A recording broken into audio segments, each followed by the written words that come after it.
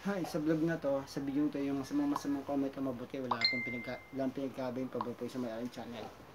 So, ano, ah, ano, nagiging problema ko kapag ano, umuulan, yung gamit namin nababasa, may tumutulo, pero with that, nagawan ko din ng paraan. And then, salamat din sa may-ari ng hagdanan na napapahiram ako.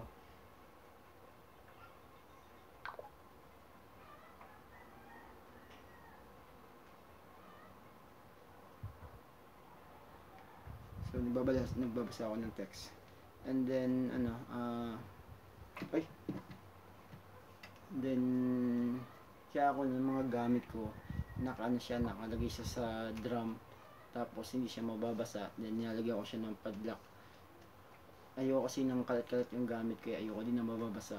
Yun. Kaya sobrang ingat ko talaga sa gamit. Pero pag ako may sarili ng bahay, yung gamit ko, siguro yung mga konti lang. Ayoko na yung napakadaming gamit, gaya ng gamit ng nanay ko. Yung karamihan naman sa gamit ng nanay ko, mga iba dyan, mga binili niya, yung iba naman mga bigay-bigay din, and then may mga kapitbahay na mababait din, kagaya ni Ate Bekbek, na tawag kay ate, pero hindi ko siya kano-ano, kapitbahay ko lang siya, na magaling, magaling din talaga.